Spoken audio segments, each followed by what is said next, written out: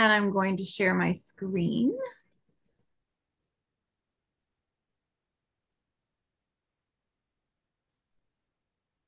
And I'm going to put this in slideshow mode.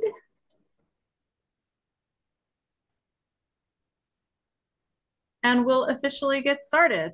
Um, first of all, happy Pollinator Week. Um, it was just serendipitous that this webinar happened to co coincide with National Pollinator Week, which is all week. Um, so we're glad to have everybody here to, to learn all about that. Um, this is part of our regular webinar series at 1000 Friends of Wisconsin. We host them roughly once a month and on various topics. And this is a little different than some of the stuff we've been talking about lately. So we are really excited to have everybody here. Um, I have disabled the chat for now, but there will be time for questions at the very end. So save those up in your head and put them in the chat at the end of the presentation. Uh, 1000 Friends of Wisconsin, if you're not familiar with our organization, was founded in 1996. Uh, we got comprehensive planning and smart growth law passed in the state. Uh, we're an environmental organization dedicated to land use planning and transportation policy. And our whole goal is promoting healthy communities across the state. One of the ways we do that is through our Active Wisconsin program, which is a coalition of statewide of communities and advocacy groups who want to make it possible for everyone to walk and bike and take transit to get where they need to go. You can see all of our social media handles there at the bottom of the screen, but the best way to keep up with what we are doing is to sign up for our e-news, which you can do from either the 1K Friends website or from Active Wisconsin. That goes out about once a month, so we don't spam you. I wanted to kick off the, the whole webinar today by just um, giving a little introduction to community science and how all this came about before I hand it off to our guest speakers. Um, community science happens when communities and scientists do science together to advance community priorities. Um, so rather than read the rest of the definition, I just want to emphasize that the important things about this is that it is really driven by community priorities and community voice to, uh, to help define where that expertise is needed. Um, and it also involves a lot of collaboration, which means that for this particular project, we had quite a lot of different entities involved. So um, just to give you a brief background on how all this came together, um, the American Geophysical Union, which is a professional organization for Earth and space scientists, they have a program called Thriving Earth Exchange, which supports community science um, by helping find those resources and connect that expertise with communities to help solve problems.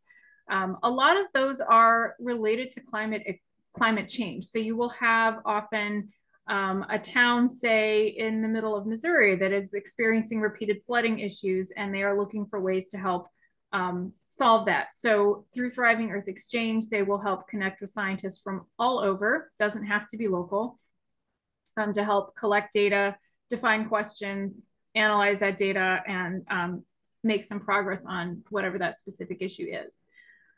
So early last year, the University Alliance, which is based out of UW-Madison, worked with Thriving Earth Exchange to have a Wisconsin-specific cohort um, from Thriving Earth Exchange. So if you go to their website and you look at their list of projects, there are several cities in Wisconsin that have various projects happening. One of them, of course, is Sun Prairie, um, but University Alliance is how I got connected with all of this. So we have Thriving Earth Exchange, which helps coordinate community science projects. We have University Alliance that helps connect communities with the resources available at UW. We have 1000 Friends, which of course works statewide with communities. Um, the city of Sun Prairie had a very specific project having to do with No Mow May that they wanted to boost efforts for public engagement and sustainability. And then of course we have all this expertise available right here at the UW-Madison and all this came together for this project so that we have these different roles.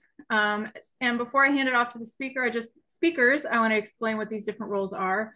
So the community leaders are really based in the in the place of the you know the problem or issue that's being addressed. Um, today we have Sandy Zhang and Cindy Bertley from the city of Sun Prairie. Um, another key person who is no longer with the city but was pretty involved way up until the end of April was Scott Semroc, who was the sustainability coordinator there. Um, we also have our community scientist from University of Wisconsin Gratton Lab. Um, we have Dr. Hannah Gaines Day with us today. We also, from that lab, worked with Dr. Genevieve Pugesek, who um, has since left her postdoctoral position with another another position with the Xerces Society, but she was really pretty integral in this as well. And then the community science fellow, that's what I did. Um, I don't do science at all, but I helped manage the project and keep things on a timeline and make the connections to get all this to happen. So I'm going to introduce our speakers and then hand it off. Uh, we're going to hear first from Sun Prairie staff. Sandy is the strategic planning and engagement manager for the city of Sun Prairie, overseeing the departmental operations of the administrator's office to advance the city's efforts in equity and sustainability.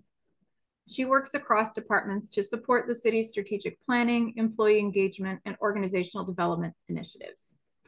Cindy is the Parks and Forestry Division Manager at the City of Sun Prairie, where she oversees the management and operations of over 40 city parks and over 10,000 public trees in the city of Sun Prairie. Um, the next thing we'll hear is from Dr. Hannah Gaines Day, who is a research scientist at the University of Wisconsin-Madison Department of Entomology. Her research interests broadly relate to the impact of local and landscape scale resources on wild and managed pollinators in agroecosystems. Since 2006, she has conducted research in a diversity of Wisconsin agricultural systems, including potato, cranberry, apple, small-scale mixed vegetable, and commercial beekeeping.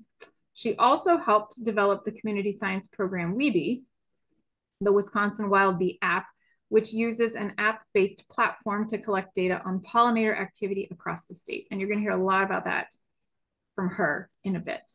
Um, so I believe it is Sandy's turn to speak. And Sandy, you can just let me know when you're ready for me to advance the slides. Thanks, Susan. Yes, go ahead. All right, so um, I wanted to kick off to just kind of give some context about Sun Prairie if you aren't familiar. Um, so Sun Prairie is the second largest um, community in Dane County, um, located just northeast of Madison, um, and we're sitting at about 37,000 residents. Um, and so uh, sustainability has been something that we've really been um, working toward advancing in the last, I want to say, five years or so. Um, in 2019, our council completed a strategic plan. Um, and from that strategic plan, sustainability was um, identified as a priority area for the council and community. And since the creation of that strategic plan, we've created a, a task force which disbanded in 2020, um, but that led to the um, creation of a permanent sustainability committee, which is still in existence today, um, along with the hiring of our first sustainability coordinator, who, as Susan mentioned, um, was Scott Semroc. And, uh, and so right in front of you here, um, you have the, the work of our task force. Um, so the task force defined sustainability for Sun Prairie, identified several priority areas and goals, and the task force actually had 115 recommendations for the city to complete in the next um, one to seven years. Um, so it's it's a very aggressive uh, plan, and it's it's a, it's a, it's a something you can find on our city website. Um, but it goes to show that um, there is community support for advancing sustainability in our community. Um, you can move to the next slide, Susan. And so this is how we've really approached our sustainability efforts. Um, we've started with our circle of control. So really looking at our municipal operations, um, buildings, fleet, uh, updating our purchasing policy, um, right now, where um, we've been working on a green infrastructure update to our, our municipal code, um, and our planning department is working through um, a zoning code rewrite. And so these are all things that we can control at our at our level. Um, we also understand the importance of both the circles of influence and awareness. And so um, this is where No Mow May comes in. We were really interested in now engaging our residents and community um, and identifying ways to um, not only increase that engagement, but also find ways to connect with them in ways where they as an individual can support our community in advancing sustainability. Next slide. And this is where No Mow May comes in. Um, and so No Mow May is, encourages um, our residents to limit their lawn mowing practices during the month of May um, for several reasons, as you can see on the screen here. Um, Sun Prairie uh, ran a pilot program for No Mow May in 2022. Um, and we continue the program this year. And so uh, No May was pioneered by Appleton um, here in the States, and several communities have continued to adopt um, No Mow May, um, including um, several in the state, such as Milwaukee, Madison, Stevens Point, Fitchburg, Wausau, um, and many more. Um, and so the objective is, as you see on the screen, to create habitat and resources for our early season pollinators. Um, this is especially critical in um, urban communities um, where we know that flower resources can be limited. Um, we also recognize that um, there have been studies to, to uh, show benefits um, in the community, such as increasing bee abundance and diversity. Um, and we recognize that with no mow May um, or, a var or a variance of it, um, that can reduce the mowing frequency, which in turn saves water, reduces cost, emissions, and noise from the use of gas-powered lawn equipment. Next slide. Um, so you can see here, I've touched on this a little bit, um, and last year we had a total of 342 registrations. Um, and a lot of the feedback that we got from our participants last year was um, participants wanted to do more. Um, so um, whether that was reducing, um, you know, in addition to reducing or not mowing their lawn during the month of May.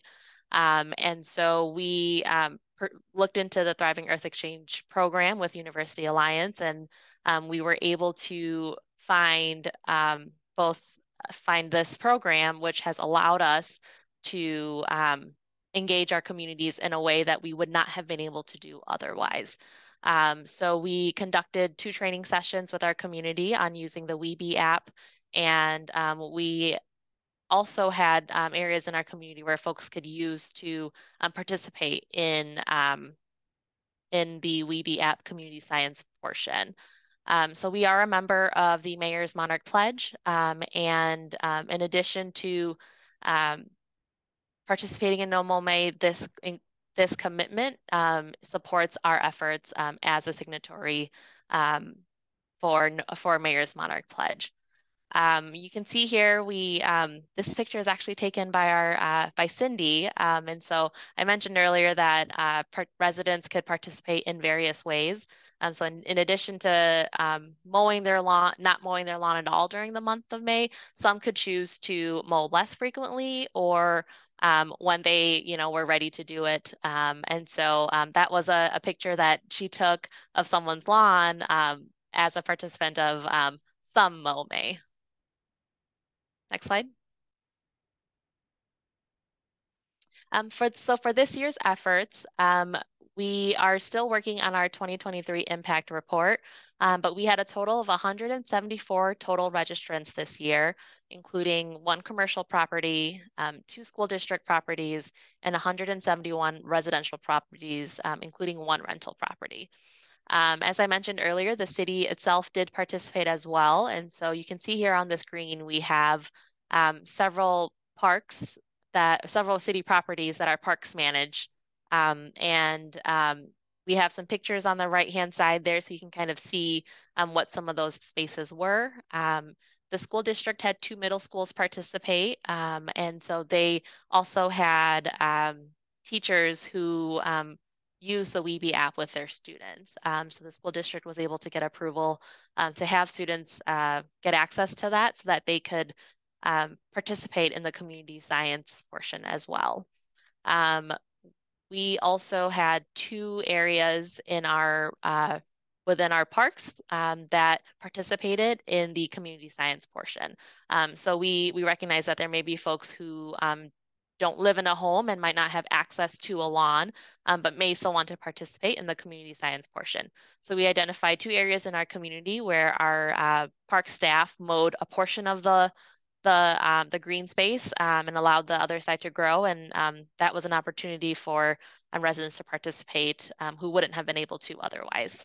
Um, and again, as I mentioned, we completed a 2022 impact report based on last year's efforts, and a 2023 impact report is in the works for this year as well. And I'm really excited to incorporate the WiBee data that was collected by our community scientists as a part of that report.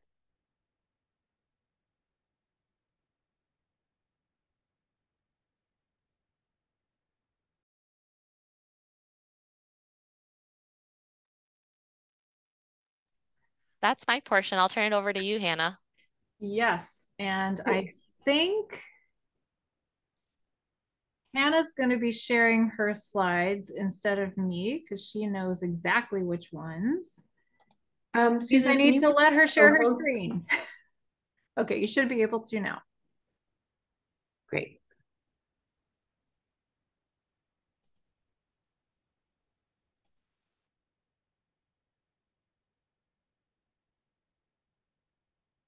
See, where's our slideshow?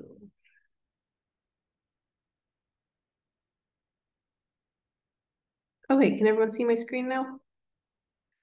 Great. Okay, so um, I'm going to take a little bit of a step back and talk about um, pollinators and sort of why we even care about pollinators and providing resources for them in the first place. So um, first of all, why are pollinators important? Um, 85% of all flowering plants depend on pollinators for seed production and fruit production. So in order for reproduction, they need they need pollinators to come visit the flowers. This includes about 35% of all crop plants, or another way of looking at that, this is one in every three bites you eat is dependent on pollinators. Um, a grocery store out east did a, a, a showed a, a, display a few years ago what their produce section would look like without pollinators, just to show the impact on our everyday diet um, if we lost bees. So what does it what does it mean they're dependent on pollinators and what happens if if a plant that requires pollination didn't get pollinated? This this photo shows you um, sort of a range of, of possibilities. Um, for the most dependent crops, for example, apple, if they don't have pollination, they don't produce any fruit. In this picture, you can, see, strawberries, watermelon, and cucumber, and they received insufficient pollination and produce funny shaped or small fruits, which aren't really um, economically viable for the growers. I like to use the watermelon as an example. So for to produce an economically viable watermelon that looks like a nice solid big watermelon, the plant requires 2,000 grains of pollen to be moved from the male flowers to the female flowers. So just to give you a um, sort of a magnitude of, of how much work the pollinators are doing for different crops. Um, so which insects are pollinators? This is a nice illustration from the Nature Conservancy that shows you a little bit of the diversity of pollinators um, you can see we have butterflies, moths, bees, beetles, wasps. There are lots of different insects that pollinate plants, just meaning that they'll pick up pollen and move it between flowers. But bees are really the most important pollinators. And there's a number of reasons why bees are the most important pollinators. Um, the first is that they're really just built to carry pollen. So if you look at this illustration, um, you see you can see some of the bees have pollen really packed on their legs and packed on their body. Um, the bees, like in the upper left, you see the sweat bee halictus. Um, they have on their, their back legs, they have a, a thing called scopa. It's sort of like a comb. And when they land on the flower, the, the pollen just sticks to them. We have two groups of corbiculate bees. That's um, the honeybees and the bumblebees. And if you look at their back leg, the very the bee in the very middle of this picture, um, you see it's sort of a flattened, they've got a flattened leg, and that's called a corbicula or the pollen basket. And they they take the pollen and build it into bundles and carry it in, in nice packed balls on the back back legs. So that's the first reason that bees are the most important is that they're really built to pick up pollen. Um, a second reason they're the most important pollinators is because the young um, depend on pollen to develop. So the the job of an adult female bee is to collect pollen and provision her nest with with pollen. So that's that's really important. And then the third reason that bees are the most important pollinators is because they have a behavior called floral constancy, which means on any individual um, foraging trip, they're visiting the same type of flowers. So they might go out and visit apple, apple, apple, apple, or they might go on another foraging trip and visit dandelion, dandelion, dandelion. Um, that's important from the plant perspective because they'll be delivering the correct type of pollen that the plant needs to reproduce.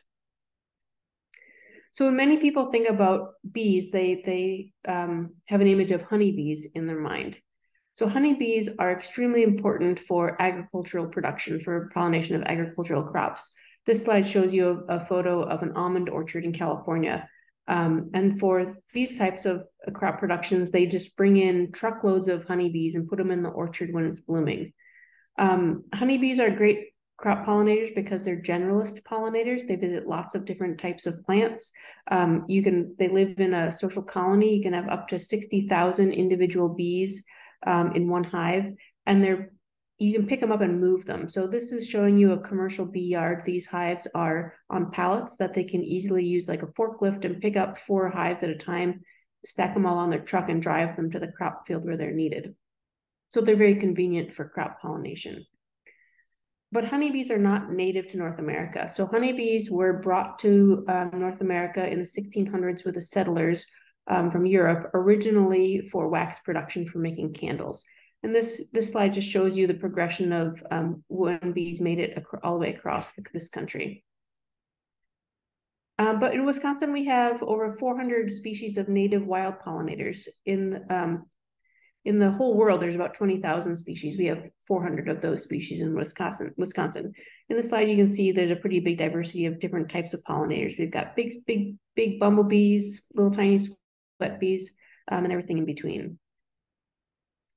Um, we have um, some social native bees. So the bumblebees are our one group of social bees. That means that they have a queen with workers in the, a colony. Um, but most bees are solitary bees. So about 90% of all bees are solitary. This shows you some little green sweat bees. And that means that there's no queen, there's no workers. All of the females are reproductive. They have their own nest um, where they they provision they lay eggs and provision their eggs with with um, food. So native bees are particularly important for pollinating native plants. This photo shows you a picture of a bumblebee visiting a cranberry flower. Um, and the reason for this is that they evolved together. So native bees and native plants evolved together, so they have um, they they they work well together. So what are some other benefits of the of wild bees? Um, one behavior that wild bees have, in particular bumblebees, is they're able to buzz pollinate. So some flowers, the pollen is sort of hidden inside the flower, and you can see in this video, the bumblebee is able to buzz the flower and the pollen is coming out. Um, honeybees can't do this. Um, and, and so you may have heard in some countries in greenhouses, they'll use tuning forks. That's the same the same um, note that bees buzz at to release pollen, for example, in tomato plants. Um, wild bees often are better pollinators because they deposit more pollen on a single visit than honeybees will deposit.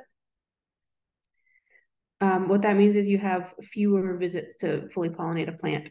Um, we also have seen in our research that there's a benefit of having a diverse wild bee community. So um, relying on a single pollinator species like honeybees is dangerous because if that bee disappears, then you lose all of your pollination services.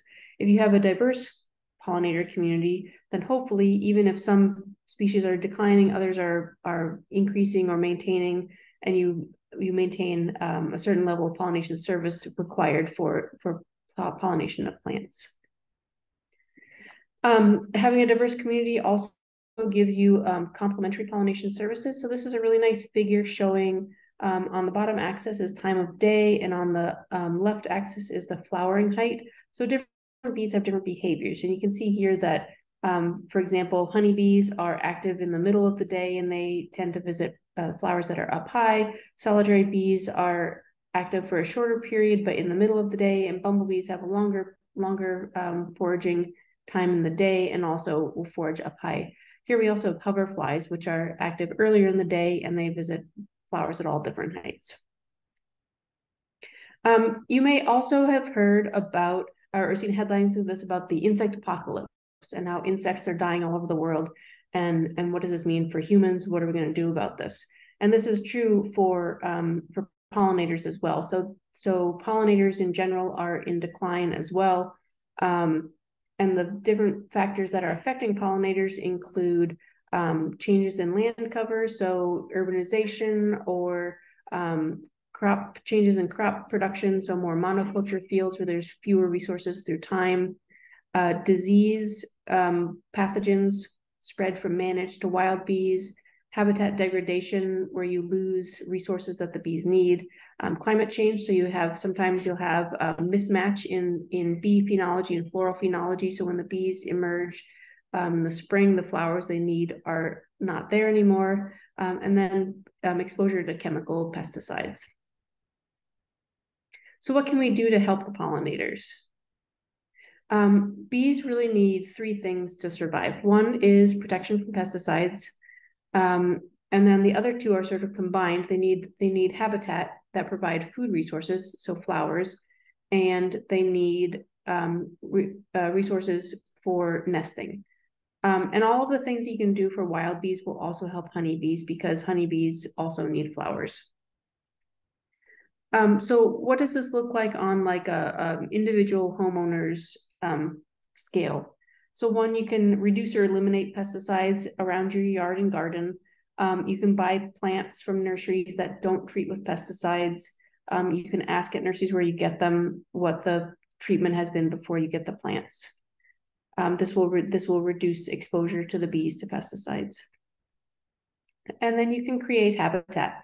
So um, if there's only one thing that you remember from today's talk, um, I want you to remember that the most important thing that any single person can do for bees is provide flowers. So, so the more flowers, uh, diversity, color, shape, bloom, uh, bloom periods from early spring through fall, the more flowers you can provide during that growing season, um, the more bees that you're helping. And this is so, so we know from research that you can do these things in urban areas, even though there's a lot of built up, um, built up areas you can provide resources for bees in these habitats. And even um, in in France, they did a study and found that the bees in the urban landscapes were actually healthier than bees in agricultural landscapes, mostly because um, they had reduced exposure to agricultural chemicals. So um, I'm going to transition a little bit here to talk about this app we have, have called WiBee, um, and sort of talk about why we developed it and and what it's for and how you can use it yourself. Um, so what is WiBee? WiBee is a community science smartphone app designed to survey bees visiting blooming plants. So it's a very simple, it's sort of a, um, it's a, a, modified timer. So it's sort of a fancy timer on your smartphone where you can stop at a flower for five minutes and record the bees that are visiting. Um, each survey is five minutes. And what we're tracking here is the number of visits to flowers. So we're not counting bees, we're counting visits to flowers because that's what translates to pollination services. Um, collecting this data will help us understand better sort of how bee activity varies across the state. When you do these surveys, it um, drops a, a pin on your exact location, and we can use that to understand how the landscape around your observation point is impacting pollinators in in your area and across the state where all of these surveys are taken. So um, this app is available for Apple or Android devices. You can download it on the App Store or get it on Google Play. This slide just shows you um, a picture of what it looks like when you actually have the app on your phone. Um, so going back to um, why we developed this app and community science. So community science allows you to collect a vast amount of data um, because you sort of crowdsource the data collection. And there are a few um, community science projects in and around Madison and the state that you may have heard about. Bumblebee Brigade is one that tracks bumblebees. They use photo um, photo surveys of bumblebees, and then experts will identify them so we can map out where different species of bumblebees live in the state. The Tick app maps where people are encountering ticks. Um, Audubon Christmas bird count, that's sort of a long running uh, community science project where they, they look at uh, birds, uh, sort of a snapshot of the birds at Christmas time. Um, there's a crane count run through the um, Crane Foundation, and then the Urban Canid Project out of UW Madison, which is looking at foxes and coyotes in the urban environment. So these are all sort um, different community science projects that if you're interested, you can check them out and, and participate as well so why did we develop WiBee? So um, the Gratton Lab is our sort of our general focus is looking at the landscape ecology of beneficial insects in agricultural landscapes. So we work with a lot of different farmer groups. And um, one group we work with is apple growers. And uh, apple, you may be familiar with, with apple bloom is a very short bloom period in the spring. It lasts from about one to two weeks. And we would go out there and do observations on um, bees visiting the flowers and the growers would say, oh, this is awesome. Do you do we have enough wild bees to pollinate our apple or do we need to bring honeybees?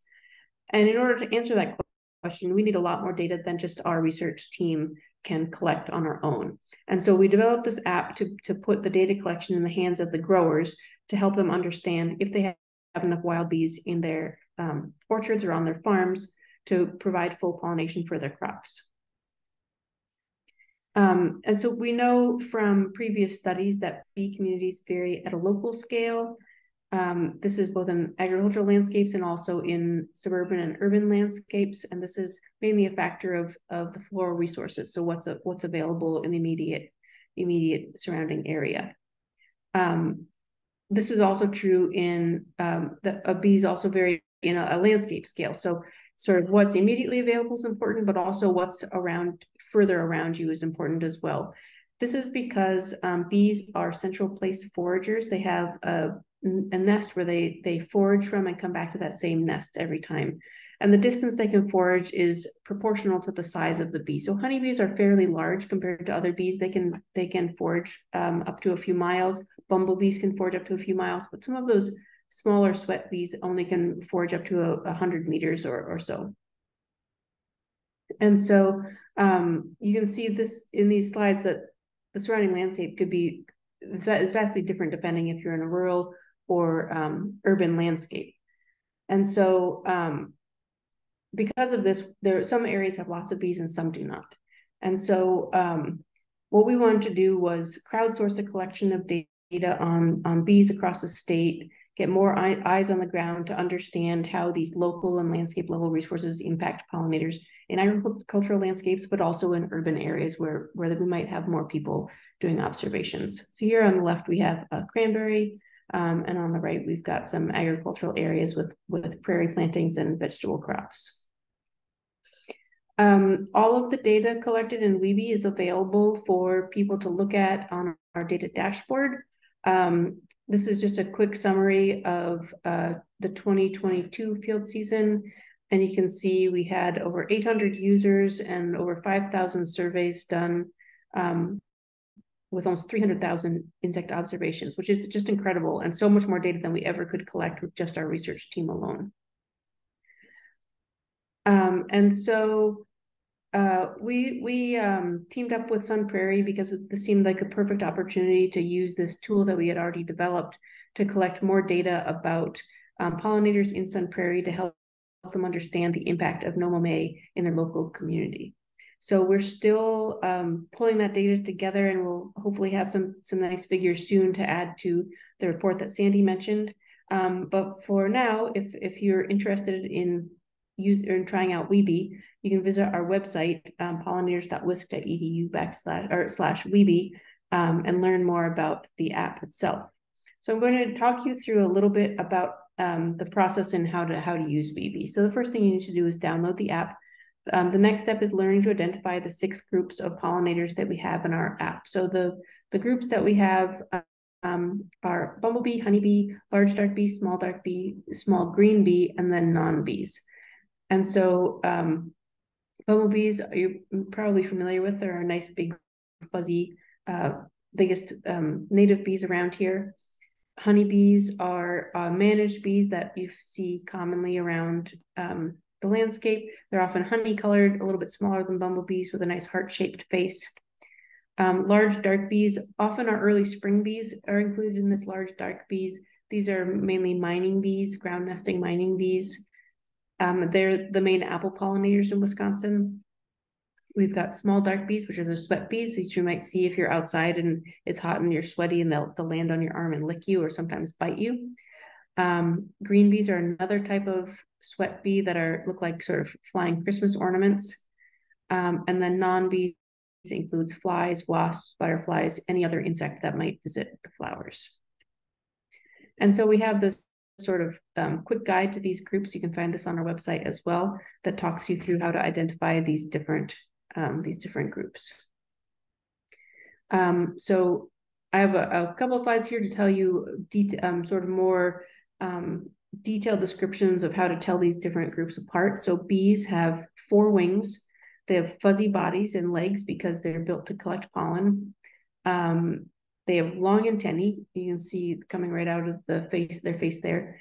Relatively small eyes, and they're actively collecting pollen. So behavior is a very key um, characteristic to, to differentiate between bees and other insects. Bees will actively be collecting pollen.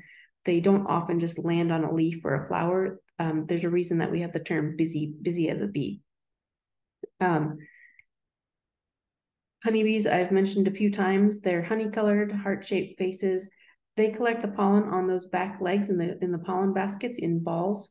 They're also very busy and often less skittish than the, the native bees. Native bees can be uh, more skittish. So when you walk up to a flower patch, they might fly away, whereas a honeybee kind of ignores you. Um, wasps also have four wings, but they're generally not fuzzy. They're more shiny, brightly colored. They, uh, many of them have that skinny waist. Um, they don't actively collect pollen. They're usually on flowers to collect and to just drink nectar. Uh, some examples here are yellow jackets, hornets, and paper wasps. Flies are another group that we often see visiting visiting um, flowers. They only have two wings. You can see this the upper picture here. You can see a nice uh, top view down of the the two wings for a fly. They have huge eyes. The eyes take up like the whole front of their face, and they've got short, stubby antennae. So you can see compared to the bees, they have much much shorter antennae. Um, um, flies generally don't collect pollen. They often will land on a, a, leaf or a flower and just sit there for a little bit. And some examples um, they that we, we see are hoverflies, houseflies. Um, the top picture here is a, a hoverfly and the, the bottom is a housefly. And then I've got, um, I think we have a few minutes here, so I'm going to go through these bee or not a bee quiz just, just for fun. Um, so I'm going to leave it on these slides for a few seconds. Um, I want you to tell yourself, you know, guess for yourself it's a bee or not a bee. And um, then I'll, I'll click to the next slide and you can see if you got it right.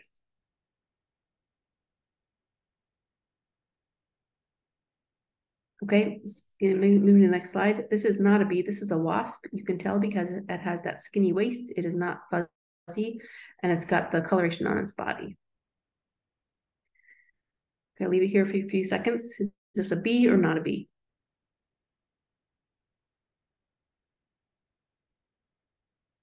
This is a honeybee. You can see it's uh, a bit fuzzy. It's got four wings and it's got those long antennae. Next one, bee or not a bee. I'll leave it here for a few seconds.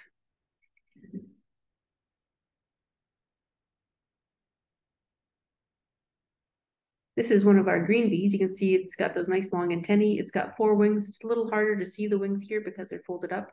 Um, but you also see it's got fuzzy legs. You can see those sort of whitish colored hairs on its back leg. Next one, leave it here for a few seconds.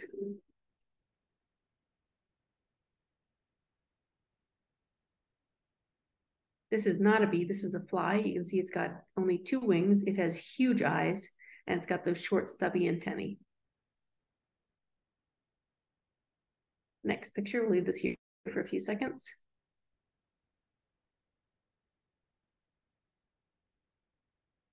This one is a little bit tricky, but this is one of our small dark bees. You can see it's got the long antennae.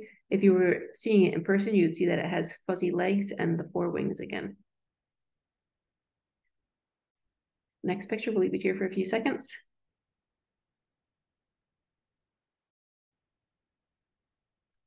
This is not a bee, this is a wasp. You can see its skinny waist and then it's got the very um, stark coloration on its body. Next one, we'll leave this here for a few seconds.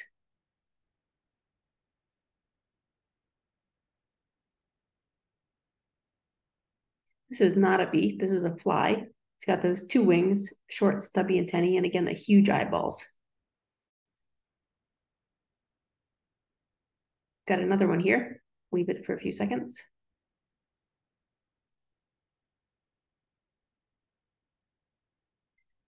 This one is a bee. This would fall into our large dart category. You can see the nice pollen on its back legs. It's got long antennae and it's quite fuzzy. So um, we've got more material like that in our, our WiBee app. We've got a quiz that you take before you can take any surveys. We have you take a quiz to identify um, the six groups of pollinators.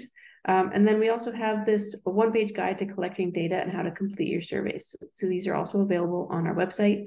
Um, I'll just walk you through real, real briefly. Um, we modified this um, the the direction sheet here for No Mow May, but there's a general one on our website as well. Um, for No Mow May, we had directions on how they should mow their lawn or not mow their lawn um, because we wanted to compare bee visits in mowed and unmowed areas. Um, but so the first step would be to prepare to survey, select your observation area. We ask people to do observations in about a three foot by three foot area in front of them. Um, when you click start survey, we have this um, sort of metadata we collect on um, what type of habitat you're in, what type of flower you're looking at, what's the weather like. Um, and then when you start your survey, we have you collect the number of insects visiting flowers rather than the, we're not counting the number of insects, we're counting the number of visits to flowers. So this shows you an example. This would be three visits if that bee visits each of those three flowers. Um, all of this is recorded on this fancy timer with the six different bee groups. And once you've collected your data, you can uh, go look at your My Data screen and compare, you know, how what proportion of the bees you, of the insects you saw were wild bees, honeybees, non-bees. Um, once you've done a number of surveys, you can compare how your visits um, vary through time or between different plants. Um, if you know if you survey in the early morning or the late afternoon, or if you survey you know tomatoes in June and then you still have tomatoes blooming in July, you could survey again and see how that's that varies. Um, so as I mentioned, this data is all available on our data dashboard.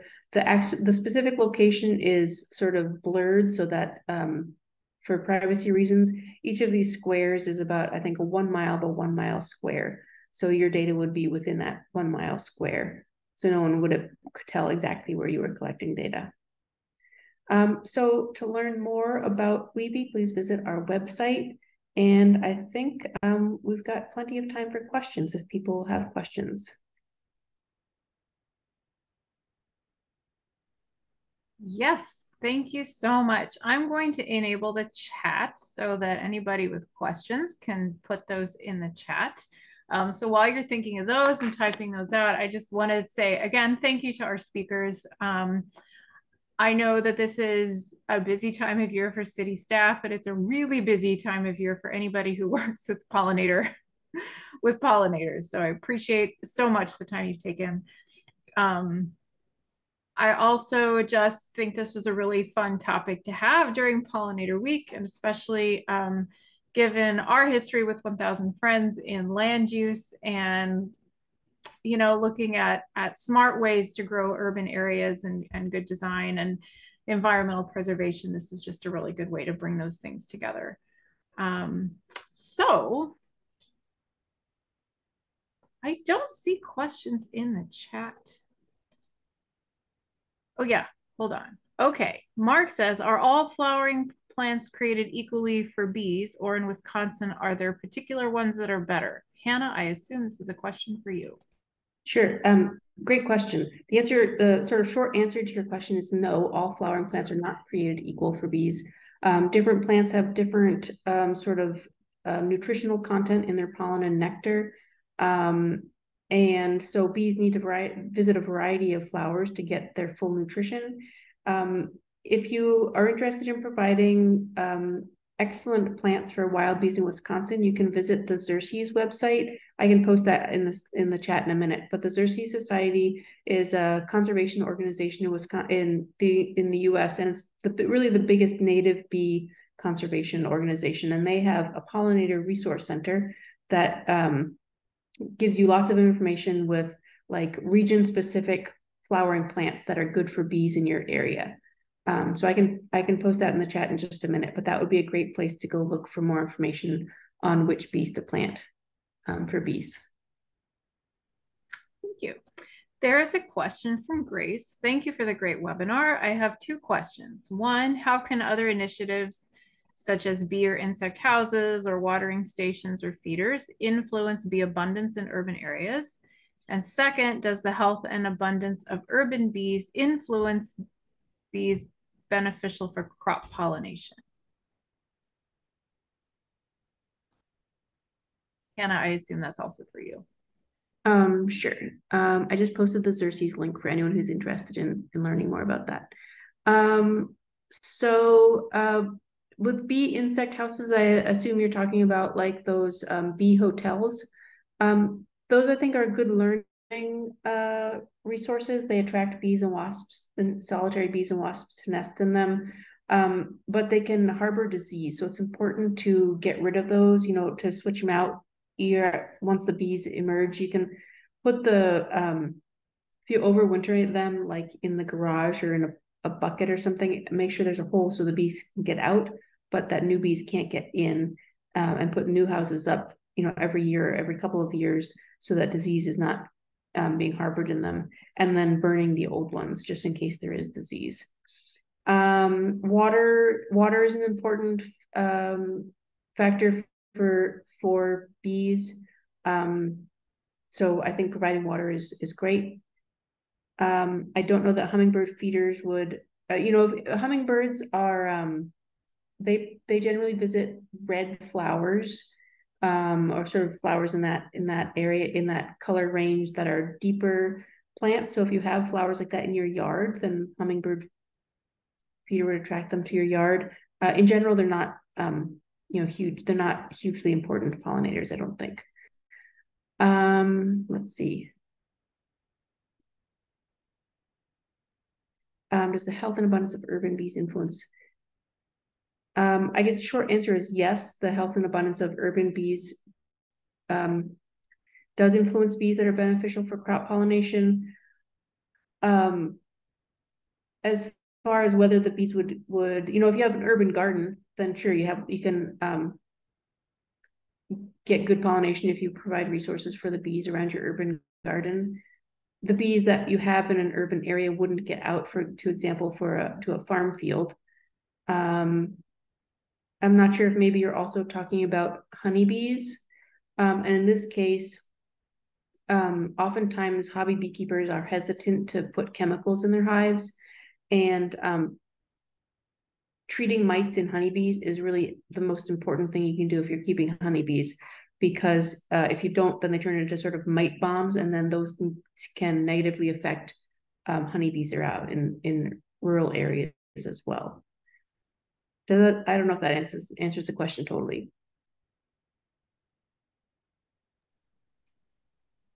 Thank you. I think, uh, so by the way, before I get to the next question, I just want to say that all the links and things that were shared, I will send out after the webinar to everybody who registered. So don't worry about saving those anywhere. Those will go out, including to the Xerces Society too.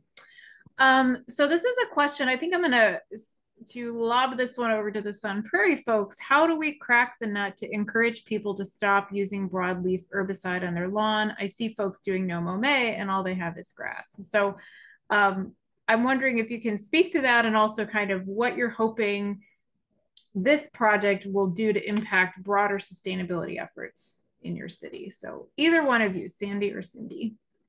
Yeah, I can kick us off and Cindy, please chime in. Um, it is tough. Um, I know that is something that when we um, send out communications to all of our participants that um, we kind of shared, you know, outside of No May, right, which is a moment in time, um, here are additional ways that you can support pollinators. Because um, I think that, um, you know, in addition to, you know, not having to mow your lawn, right, that's a nice benefit there too.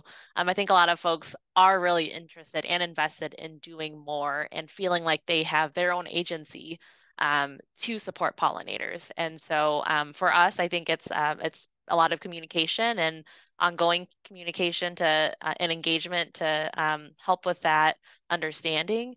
Um, and we definitely did tell folks that, hey, if all you have is grass, um, you know, there there really isn't a benefit. Um, and so we really um, emphasize the importance of having, you know, that creeping Charlie, the dandelions to to be those resources for pollinators. Um, Cindy, if you want to chime in. Yeah, I think that's great, Sandy. I um like we said in the in the webinar here, last year was the first year that the city of Sun Prairie did this, and I received a lot of phone calls um, from residents that had comments or questions about No Mow May and to kind of piggyback on this, I, I think education is a big part of it because those these are the exact conversations I would have is they want to do something for the pollinators, but they're not sure what it is and they're not sure if they want to stop mowing their grass. Or some people did stop mowing their grass, but they were still spraying their dandelions with weed killer. And so a lot of the conversations I had was just kind of the general education to kind of reiterate what Hannah and Sandy were saying was about it is about the flowers and handing on to the flowers. And so trying to figure out the flexibility of what people can do in their own spaces and the, the type of space they have. Um, trying to adapt it to give them the best tools on on what they can do if they weren't willing to do um, or if they couldn't do some of the other practices. So yeah, I, to go along with that, I think education is the biggest thing. Thank you. And I, I saw that Hannah shared a link to um, some resource from UW Extension, which is underutilized, I think. I think UW Extension is great.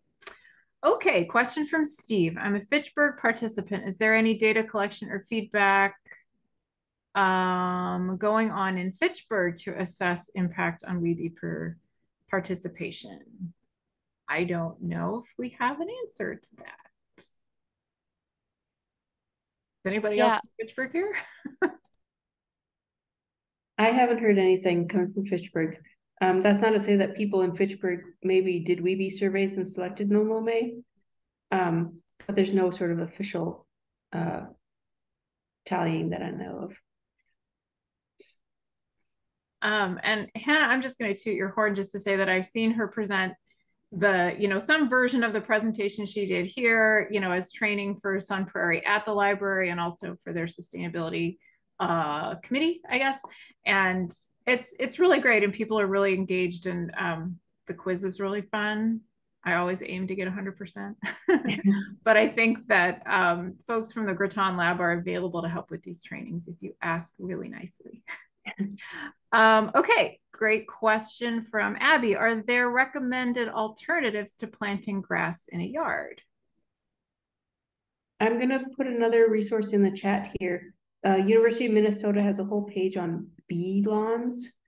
Um, and this is sort of, uh, you can often find, I think, um, seed mixes for bee lawns that are uh, non-grass, but um, low maintenance plants that provide resources for bees. Great. I too would love a bee lawn.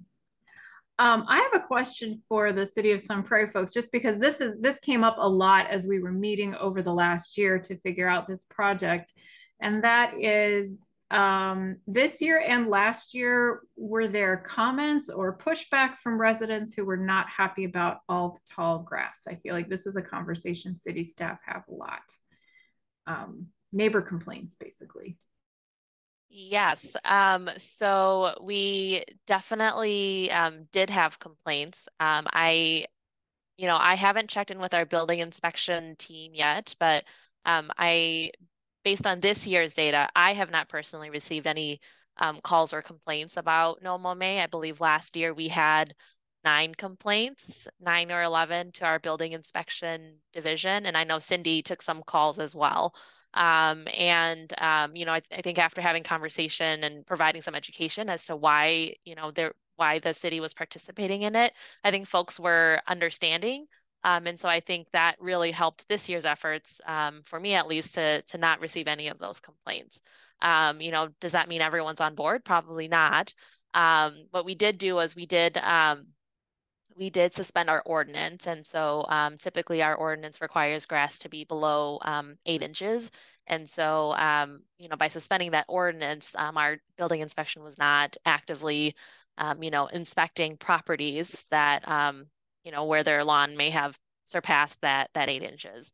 Um, but I think I've, you know, anecdotally, I've, I've heard really good feedback. Um, I had participants reach out to me via email to share pictures of their lawns um, and, and stories Um, and I uh, got some really nice notes from um, the school district as well. And so, um, you know, I think it's something that we are normalizing in our community around May.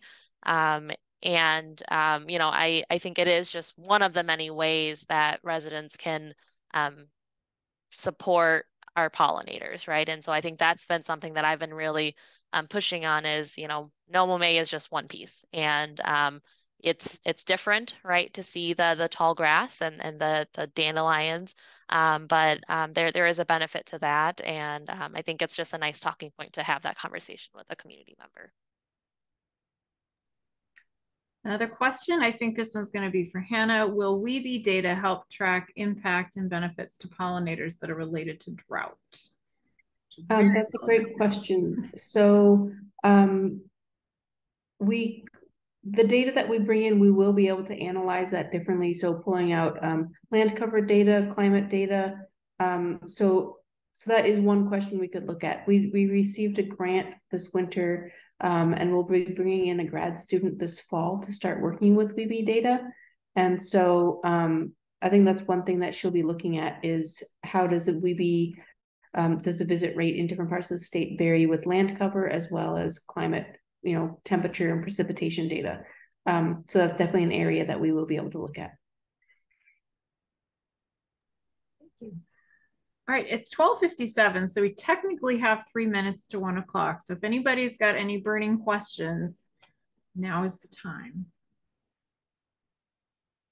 But we may have covered everything that everybody wanted to know about. So not seeing anything else in the chat, I think I'll just, we'll just end it here. I wanna thank everybody again for coming. Thank you again to our speakers. And once again, I will send out all the information with links um, to everyone who registered for the webinar. So you can find, you can dig in a little deeper and, and find out more about this on your own. So um, yes, we'll post this to YouTube. The question, will this recording be sent out? We posted these to YouTube and I will, that link will go out with everything else. So it may take until later today or later this week, but. All right. Thanks everyone. Thanks. Thank you.